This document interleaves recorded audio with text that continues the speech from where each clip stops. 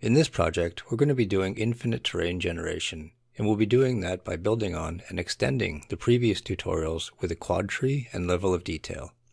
In movies, you often see these long dramatic shots showing off huge landscapes, and if you want to be able to convey that same sense of scale in your own game scene, you need to be able to draw a lot of stuff, all the way out to the horizon, or even further, depending on the game you're making.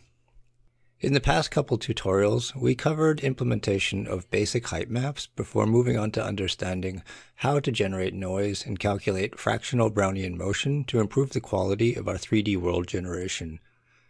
Now we're adding on infinite procedural terrain and level of detail so that we can draw pretty much as much as we want. I'll start with a single piece of terrain from the last tutorial. What we need to do is work towards extending this to entire landscapes. To begin, what we want to do is update the terrain based on where the camera is, and I did that by creating this terrain chunk manager that checks the camera's position each frame, so that as we move around and outside the bounds of that chunk of terrain, we generate a new chunk of terrain. And as I do that, you can see that the new one that's closer to the camera sort of pops into existence.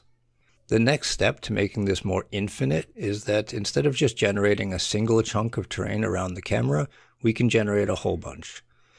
So we figure out which terrain chunk we're in and then proceed to generate all the surrounding ones as well. And once you start moving around, it gives you a bit more sense of limitless. Since it doesn't matter how far you can go in any direction, we'll just generate more and more terrain. But this is really limited because I can't keep extending this. If I want to just draw a few kilometers to the horizon, the number of tiles is squared and I need about a hundred. And that's just at eye level. If I want a further outshot that I can see about, let's say 20 kilometers, suddenly I need 1600. This is getting out of hand really quickly. What I ended up doing was implementing a quad tree. Now, if you're not familiar with this data structure, it's a way of partitioning two-dimensional space by dividing it recursively into four smaller quadrants, hence the quad part. Now, I didn't see that many good tutorials in this, so this is how I got it to work. What you do is you set up a root node, which is the area you want the quad tree to cover, and then you insert the camera into the tree. Beginning at the root node, you check the distance from the center of the node to the camera, and if it's less than some threshold, in my case I use whether the distance from the center of the node was less than the width of the node times sort of a multiplier. If it's too close, then we go ahead and split the node, creating four children. And you can see here that the way we create the children is pretty straightforward. Just bottom left, bottom right, top left, and top right. At that point, we recurse and do the exact same thing in each of these children. So for each child, we check whether or not they're close to the camera. If they're not, we do nothing. And if they are, we split and create four more children and so on until we decide the nodes are too small, at which point we can also stop. Back to our terrain chunk manager. What I do is every frame, I create a quad tree and then insert the camera's position into it. After that, I go and get every single leaf node. That is, every node that has no children under it. Then we compare that list of terrain chunks to the ones that we already have. Everything that already exists, great. We don't need to generate those ones. All the new ones, we create new terrain chunks for those, which will then build the mesh and color the vertices as needed. And once we do that, voila, we have terrain stretching out for 32 kilometers in every direction. As I move around, you can see the terrain is a bit fuzzy and low resolution in the distance, but as we move, it gets smoother and higher resolution. From the top here, you've got a bit of a better view. The white ball is supposed to be where the camera is, and you can see how the terrain gets progressively less detailed as you get further away. As the camera pans slowly over the landscape, details closer to the camera come in. Also note that we don't require that many chunks of terrain to render this pretty massive scene. Dropping a breakpoint in the terrain chunk manager, we can see that the quad tree only gives us 70 children, that means that there's only 70 chunks of terrain that we needed to generate for this entire scene.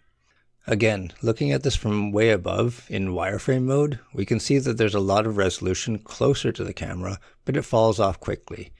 And when you're on the ground, yeah, maybe you can see it if you're looking for it, but we're putting the resources where they matter, where they should be, up close to the camera.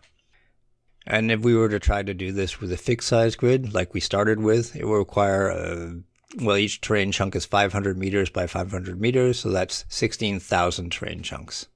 This isn't quite done yet, at least not for now, because uh, you may have noticed how the scene stuttered heavily as we moved, and it had to generate the new terrain. This is caused by the creation of all those new chunks of terrain.